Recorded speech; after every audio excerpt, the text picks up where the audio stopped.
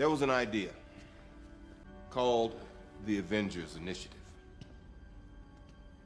The idea was to bring together a group of remarkable people, see if they could become something more. See if they could work together when we needed them to, to fight the battles that we never could.